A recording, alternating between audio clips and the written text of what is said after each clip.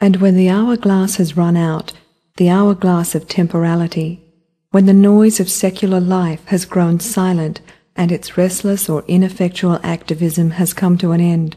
when everything around you is still, as it is in eternity,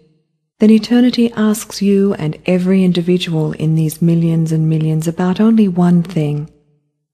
whether you have lived in despair or not. Soren Kierkegaard, The Sickness Unto Death.